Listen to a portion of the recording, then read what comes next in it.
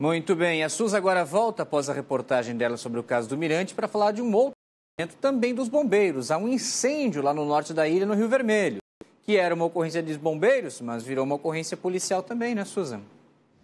Exatamente, Zanotto. A princípio era uma ocorrência de incêndio atendida aí pelo Corpo de Bombeiros Militar de Santa Catarina, que aconteceu também na tarde de hoje às 4 horas da tarde, mas após as chamas serem cessadas, foi preciso sim acionar a Polícia Militar, porque eles encontraram na residência atingida uma estufa de maconha com 74 pés, além do material utilizado para plantio. De acordo com informações da guarnição, não tinha nenhum responsável no local, mas o material foi recolhido e encaminhado à Polícia Civil. A Polícia Científica também esteve na residência para realizar a perícia e, infelizmente, Zanotto, por conta do incêndio que foi controlado, um cão acabou morrendo nas chamas.